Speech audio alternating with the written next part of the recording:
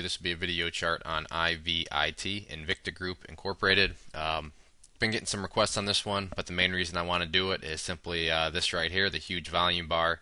Uh, and it's a triple zero stock. And if you've been around the penny market, you know that triple zero stocks, although hard to get moving, once they do get moving, they can be uh, pretty big money makers. Uh, they can really uh, draw in quite a bit of liquidity because everybody likes playing them. So uh, just going to try to catch this early. If there's anything that follows, who knows? Maybe this was just a one day wonder type volume day and things are over with now. You know, I have no idea. All I know is that there's big volume today, so maybe there's a news release out or whatever. To be honest, I don't really care. It doesn't matter. All I know is that for some reason there was a lot of big volume, and if whatever happened today that caused a big volume continues next week, this thing could really get moving and that's where the money can be made. So, um, and the other reason is if you just look at much less volume, you know, this thing went on a very nice move. Uh, but on the flip side of that, you know, to see that this was able to move this much on this sort of volume, and then you get a huge volume day like this, and it was only not that it didn't move a lot percentage wise, but um, you know, by no means, you know, something big like that. So maybe this was just some sort of um, you know washing out of some profit takers or something. I'm not sure, um, but let's just break down the chart. I want to go over some supports, resistances, and um, then we'll see kind of what plays out next week.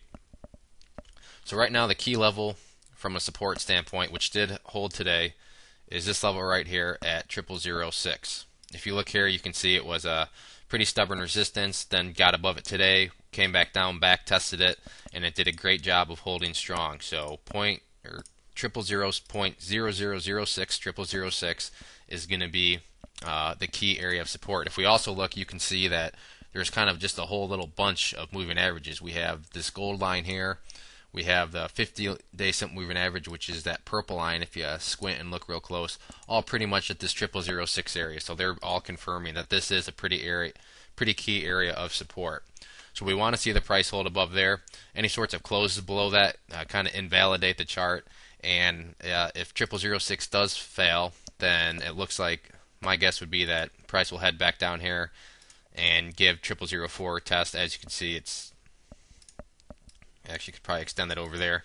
It's been tested what about five? Let's see, once, twice, and then three more times. So five times. It seems like if uh, the, you know the triple zero six level holds, the price will come down and test that. So this will also be a key area of support.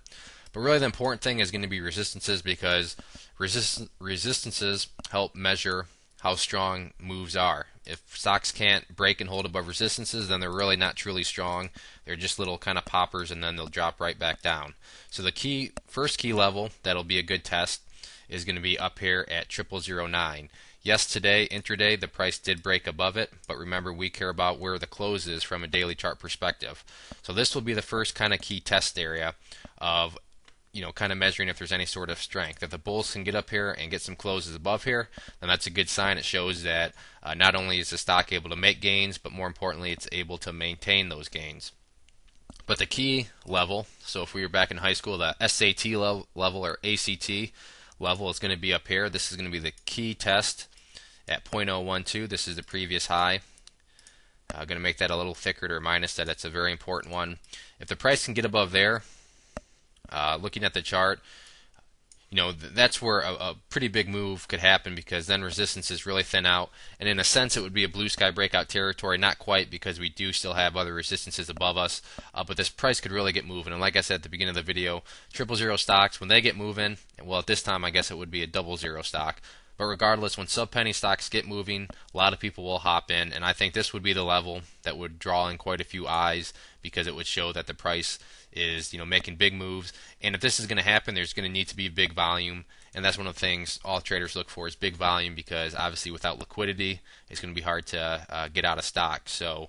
Um, Triple zero nine key level, but .0012 I think is going to be the test one that will put it on the map if the price can get through there. So uh, keep an eye on it. Next week we'll see if there's any sort of uh, follow through from that volume. If not, uh, then just move on. But um, you know it is a very interesting chart just because of this huge volume bar that came in today.